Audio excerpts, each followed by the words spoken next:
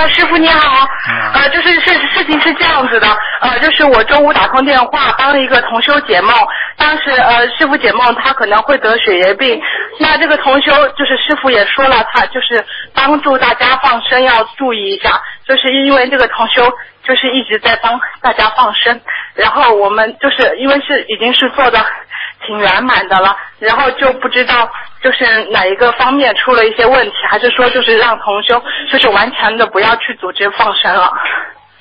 不是组织放生，他肚子里最清楚啊。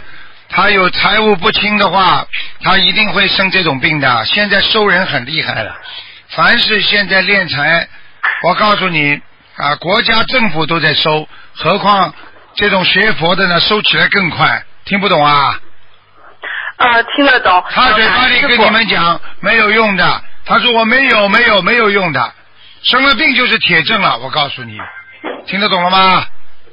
啊，好的，明白了。那关于就是他放生的问题，呃，就是当天有一个有同修梦见在一个黑黑的森林里，我们放生的人在一起，然后同修一个同修就拼命的在算钱，想把钱算平，然后另一个同修就很生气，在讲我们，大家都很紧张，有人通缉我们，我们拼命逃，我每个人都很害怕，然后一个同修在想，我们是不是放生敛财了？然后呃那天其实那天放生完以后，有个同修就是求菩萨，如果他们做的放生有不如理不如法的时候，就呃拜托菩萨托梦给同修，然后就做到这个梦了。好了，还要讲啊？还要讲吗？你告诉我还要讲吗？嘴巴里说很圆满，他自己有没有练财，他自己最肚子里最清楚了，不要跟别人讲的。嗯，好的，明白了，感恩师傅。那么负责组织的同修应该怎么忏悔？其他就是帮忙的同修应该怎么忏悔？很简单，每个人有这种事情的话，全部自己要忏悔，而且自己大概算一算，如果有不如理不如法多少，要拿出来再放生，替别人放生，他这个罪才算化掉。你听得懂吗？啊，明白了，感恩师傅。否则的话，我否则的话出大事，你叫他再憋好了，要死要面子好了。我没有，我没有，等到癌症生出来了，人都走了，到下面去跟阎王老爷去说吧，没有。嗯，好的，明白了，感恩师傅。那么，呃，请师傅开示一下，这位同修上次呃，师傅呃开示这个同修可能会得血液病，那么这个同修应该怎么放生许愿多少条鱼呢？我告诉你，首先要忏悔，忏悔自己过去做错的事情，然后要把把如果万一有算不对的事钱，马上拿出来放生，替人家放生。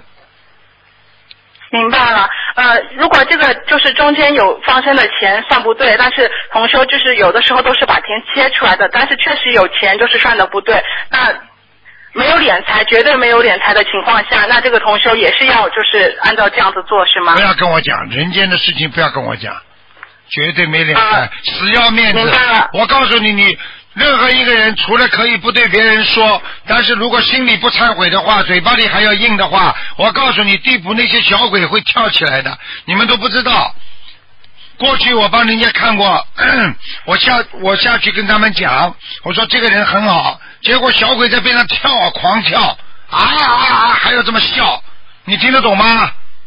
听得懂了。我告诉你，这种人马上就把他拉下去，更快，死的更快，还要讲了。只有自己心里知道之后，不要去跟别人讲，赶快在暗中把这些事情全部做掉，跟菩萨好好忏悔，小鬼才会原谅你呢。嗯，好的，会让同修听录音。那这位同修是不是以后就不要组织放生了？他完全可以组织放生，组织放生就是说，如果他在钱财方面自己做不干净，那就不要组织了。如果他自己做的干净，他还可以组织。啊，好的，明白了。那这个同修就是就是要花多一点的时间出来自修吗？还是另外要怎么样？要好好自修。大概这个同学几岁啊？你告诉我。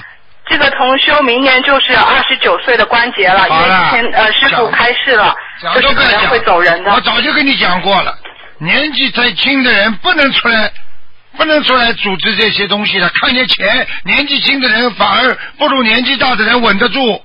我告诉你，年轻的人就是钱上过不了关，还有情上过不了关，听不懂啊？明明白了，感恩师傅。那这个同修就是以后就是不组织放生了，就是在家里自己好好修，自己好好念经，来过这个二十九岁的关节是吗？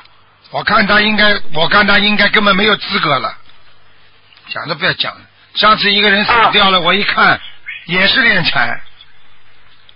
我告诉你，哦人都死掉了，就是不卖账。